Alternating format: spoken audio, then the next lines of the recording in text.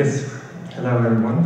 I'm very happy to be here because I do think a new paradigm for world peace is possible and uh, I'm very happy this address is 15 years after September 11. So we need to reflect on this.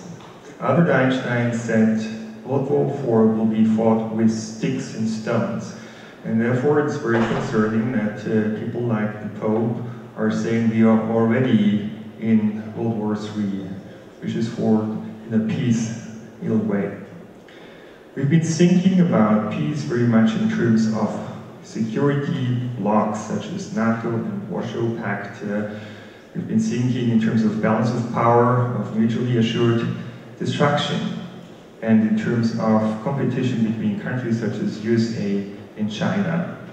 We've always been thinking that it requires power, basically, to ensure peace. And so we have thought about ways to create power, basically. And this is by means of weapons, by means of information asymmetry, and by means of the money system. And I will go into this. Let's start with information asymmetry.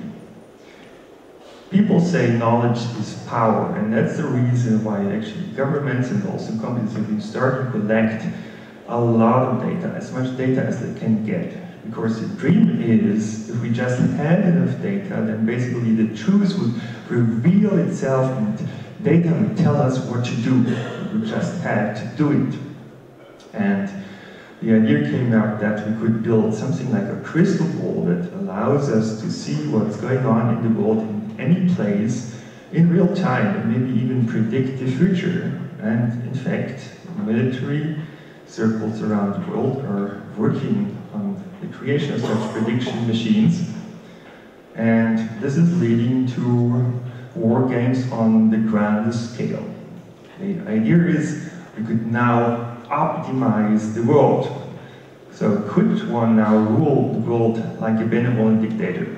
That's the question.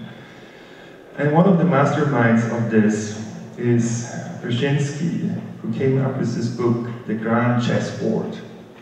So people like him think, no, basically ruling the world is like playing chess. You just need to know which piece to move and how to do that. And in fact, uh, we know that computers are better chess players since quite some time. So basically, people would build the best chess computer to rule the world, right?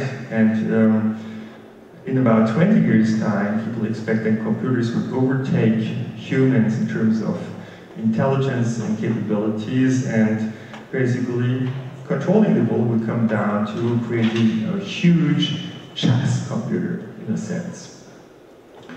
And a chess computer would play with all the countries around the world, and in fact, with everyone. So the question is, could society now run like a giant machine? If we wanted to do that, we would need to know what are all the different pieces that society is made up of. Um, this is us, this is companies, these are political parties, these are countries, and so on.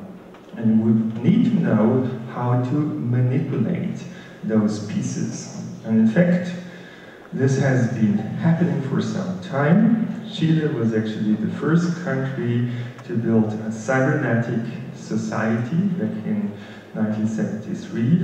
Um, that regime was basically overhauled by the CIA back on September 11, 1973. But the ideas lived on. And for example, have been taken up in Singapore, where they also learned basically how to make experiments with people and manipulate them. Uh, this is happening now everywhere around the world, something that I'm discussing in my new book, The Automation of Society, is next. Now, how is this working? Basically, people use machine learning, deep learning algorithms, that they run on big data, big data that have been collected about the world, about everything, actually personal data, your data, data that has been collected without your agreement, without your knowledge, but it's there. And they run this machine learning on that data in order to find out what you're doing and how you can be manipulated. And Google was one of the first companies to learn how that can be done.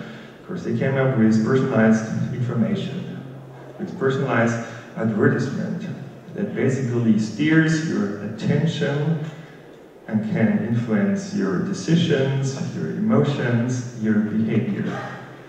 So, are we remotely controlled? That's the question.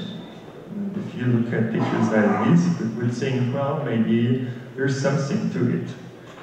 And if you search on the internet, then you find a couple of documents that will show you that, in fact, that's the intention to control our behavior and our thinking. So companies and governments have tried to build a matrix that would basically control how we would see the world, and that would control our behavior.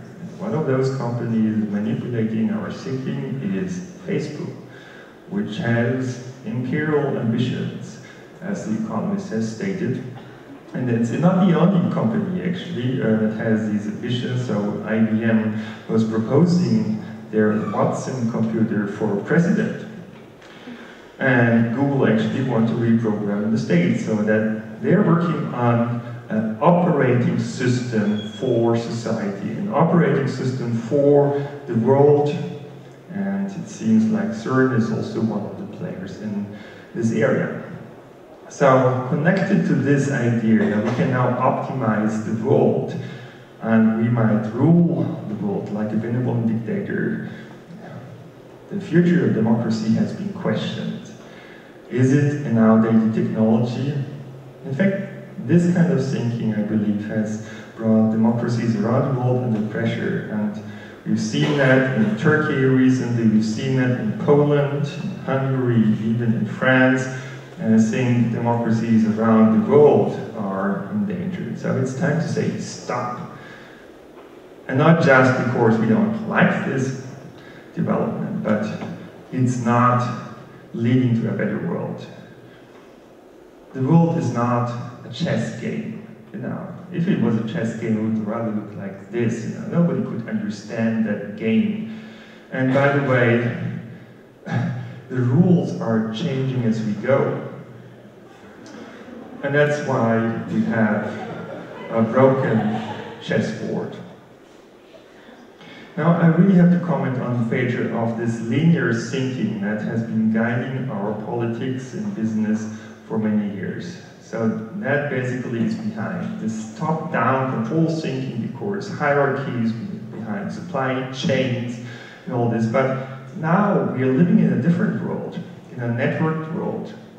And that means that basically things come up differently from what we expect. We cannot shoot in a straight way, in a sense, you know. So uh, there is an intended effect, but instead what happens in those highly networked and complex systems is that there would be side effects, there would be feedback effects, and there would be cascade effects. So something very different will happen.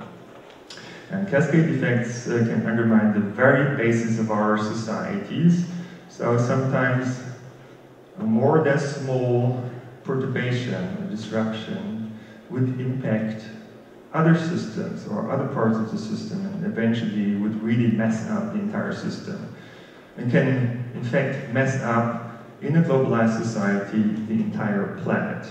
Uh, and this is the danger. And in fact, this has happened since September 11 the wars on Afghanistan and Iraq didn't have the expected outcomes. Instead, international tension has been spreading to countries like Syria. It's created an even bigger mess, uh, danger to world peace. Drone strikes have hit also civilians, made many people angry. It created new terror and it created a refugee crisis. So while the paradigm is actually that order would rise from chaos, we've seen instead that this really didn't work. Instead, chaos resulted from chaos. And the reason is the following. In physics, we know this law of actio equals reactio. When it comes to violence, actually, we have this law. Actio equals reactio plus epsilon, because there's some punishment. And that creates escalation, and escalation creates uncontrollable situations. We've seen that in Ferguson, that social order can't be just created by power. In fact, power requires trust, and that requires public support. And that's why now Ferguson has a new black police chief. In fact, we know that since quite some time. For example, the movie The Gatekeepers has come to similar conclusions, and it's related to the fact that we're now living in a diverse and mixed world. So, that old paradigm that we could create social norms by force, that's only working in homogeneous societies. In heterogeneous societies, instead, we'll find conflict. So, the success principles of the past are creating the failures of today.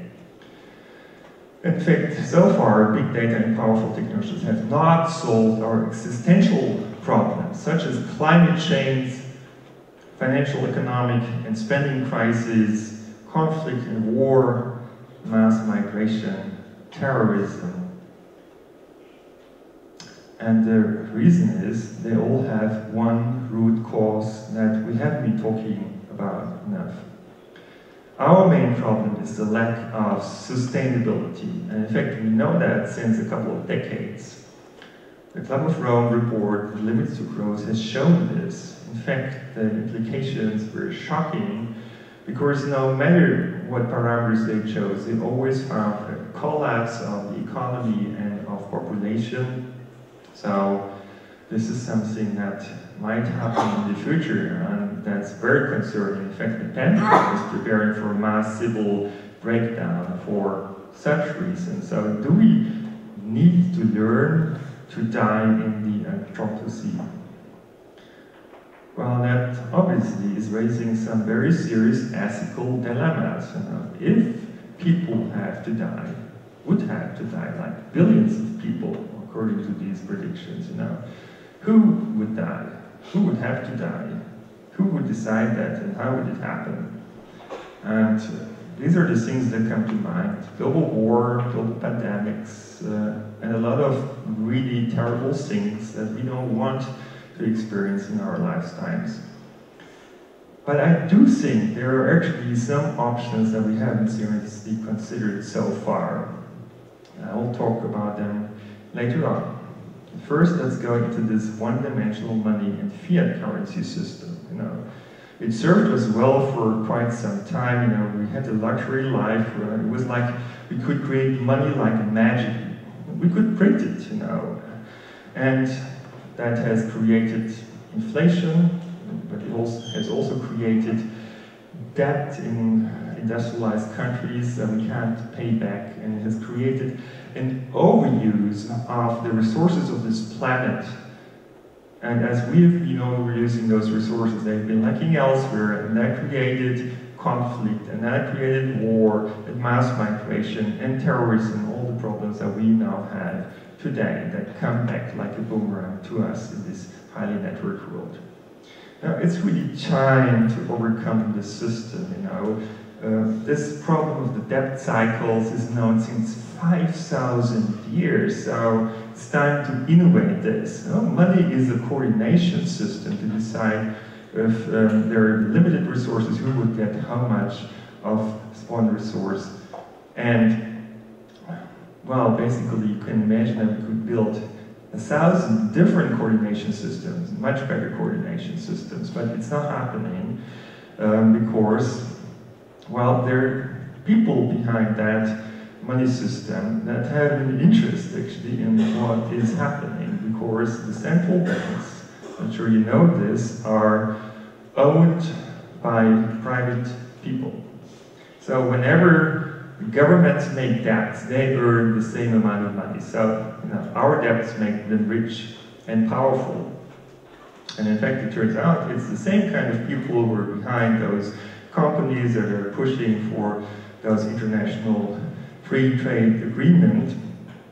And the idea is that uh, basically monopolies would create economies of scales and times of scarcity, that would be the best solution. But in fact, I'll tell you later on that what you really need is a circular economy. And the very same people also apply this principle of divide et impera. So basically, they're selling weapons to two sides and they steer war between those two sides. So basically, everyone else would be weak and then they could create their order imposed on the system. So do we really need to live in a system where some people don't have enough money to survive, but too much to die? Why is it that uh, we have an economy that matches supply and demand only on average, but people are suffering on both sides, some of obesity, some of hunger, even though there's really enough food in the world for everyone?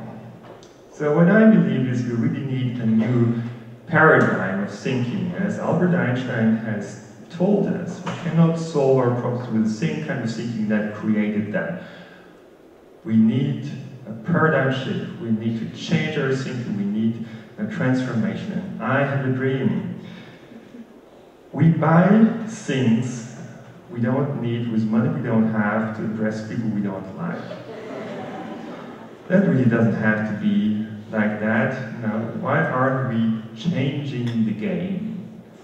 I think now, now is the time where there's no choice. We have to change the game because it's a matter of survival for billions of people. We cannot just let things happen as in the past. It wouldn't work out for the world and for us. And in fact, uh, if you like, you can have a look at this paper, Why We Need Democracy 2.0 and Capitalism 2.0 to Survive, which is addressing these questions. I personally believe that we are now just at the beginning of a grand transformation of our society.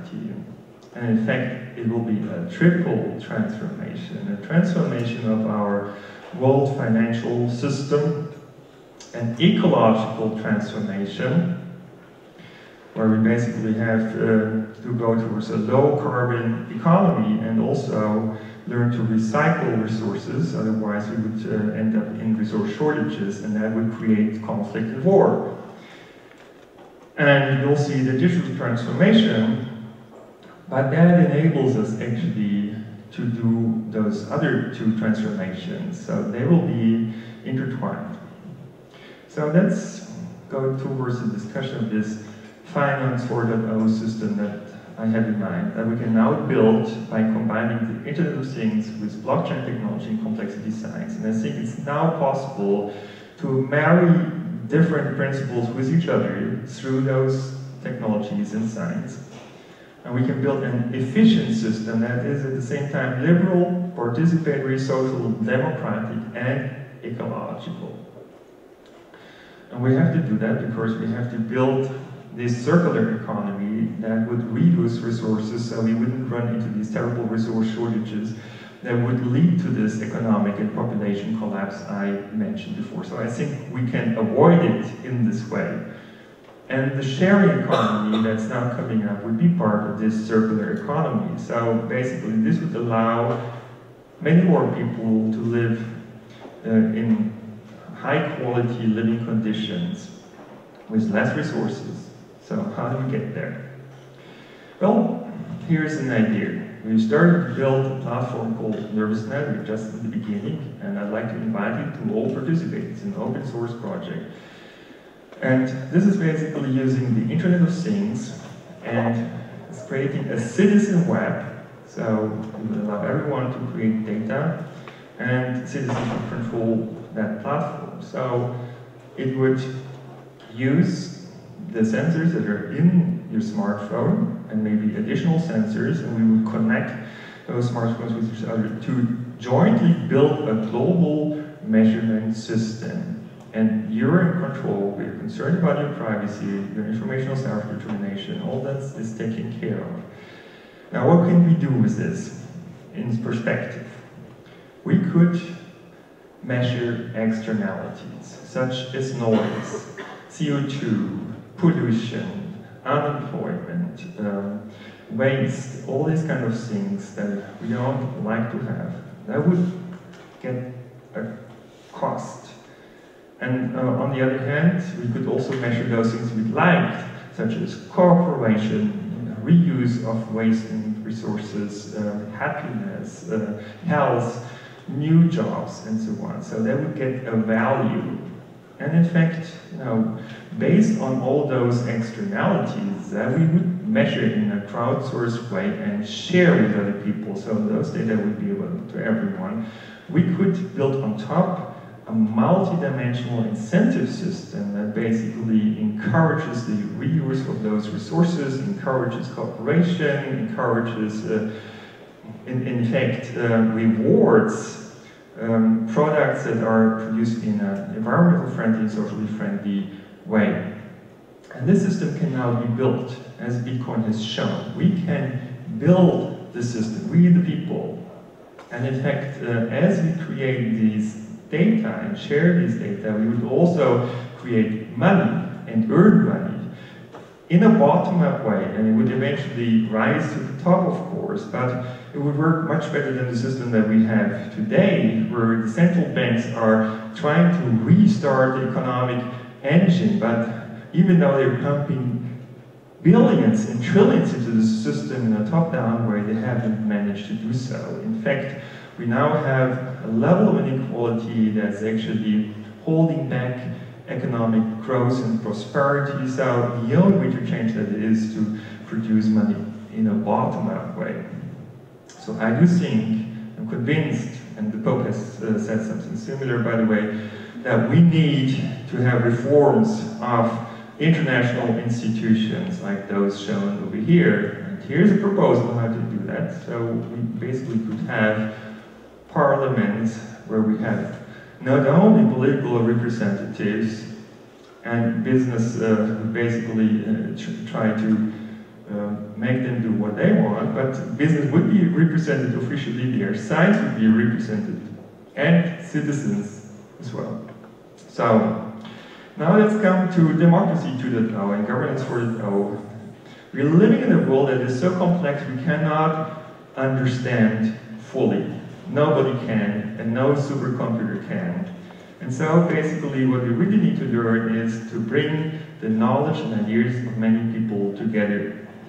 And that requires online deliberation platforms where we can put the arguments on the table, on the virtual table, where they can be sorted in order to flesh out different perspectives on a complex problem. And then once that has been done, we can have roundtable basically to integrate those different perspectives and come up with solutions that meets several of them, that works for many stakeholders. That is really important, a pluralistic approach. And why is this important?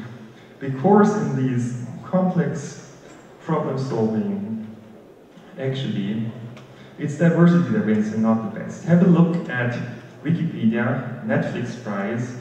I will see that basically the very best teams have been unable to solve the challenge individually, but when they started to average their solutions with other teams, teams that haven't been as good as they've been, altogether that created a better solution. You would have just expected the opposite, right? So it's really important to have diversity and integrate diverse perspectives to come up with good solutions. And in fact, we know that. The most diverse economies are the most successful ones, and that requires freedom, because freedom promotes creativity and innovation, and it requires value pluralism. It's not good to maximize one quantity such as efficiency. There are many other things that matter And that's why this one-dimensional money system is so bad, because we are trying to project the complexity of the entire world on just one dimension, while there are so many other dimensions that matter. So it's really important that we have these integrated solutions. And here, digital assistants can actually help. So, um, reputation systems are systems that can actually help to create peace in a multicultural world. I told you before, force cannot create social order, but there's a new mechanism that has spread quickly on the internet, um, which is reputation systems. And in fact, think of digital assistants that we can now build that would help us to achieve our goals. In fact, uh, could advise us, uh, could raise our situational awareness that could help us interact with other people, in particular people with different backgrounds, maybe from different cultures, so they could help us to overcome cultural barriers. Like real-time translation is just a simple example, but imagine we would have this digital assistant that explains us how different cultures work, how people think and feel, and how to interact with them, and the fact that we could eventually learn to unleash all the potential of all those rich cultures around the world, because cultures are made of, of thousands of success principles. If we would just operationalize them, understand them, you know, we could recombine them in new ways to come up with new solutions and new value. In fact, this new age that is now coming, the digital age, that is basically very much built on information, that is immaterial. This is unlimited. There are really potentials for everyone. If we build the system the right way, everyone could be rich, and it's important for this that it would create new opportunities for everyone. So in this NervousNet platform, for example, uh, people can create data, but it will also create data that people could analyze, so that will be open for that, and also everyone could create Internet of Things applications and services, and so on. And those systems would also increase awareness, we would be able to see things and understand things that we can't see with our five senses, right? Like, such as social capital is, is immensely important for our economy and society, reputation, trust, solidarity, but so far we have difficulties measuring it, and that's why it's often damaged, sometimes intentional, sometimes unintentionally, but once we understand and can measure the value of this, we'll learn to protect it. So, if we create new opportunities for everyone to take better decisions, to coordinate each other better, to cooperate, uh, to be more creative and innovative, you know, that will in fact create a better world. And what it needs is an open participatory information innovation production and service ecosystem, a giant sharing economy 2.0 that's owned by all people. And so we could plug in with our own ideas and services and products, and for this to happen, we require interoperability, so combinatorial innovation and co-evolution can happen. Coming to the end now, we must now learn to love our planet and everyone living on it. Because we are all interdependent. It's one giant ecosystem. Whatever we do comes back to us sooner or later.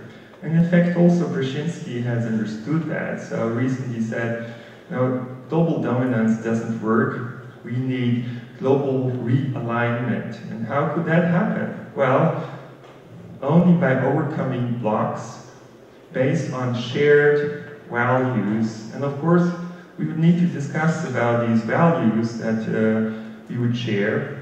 But I think as data becomes more important and information becomes more important, also ideas and values become more dominant. So it's time to act. We now need to build this society for that now. We have the science, we have technology, we have 15 years, and we need you, visionary, courageous people, to create a, a suitable framework for society for that.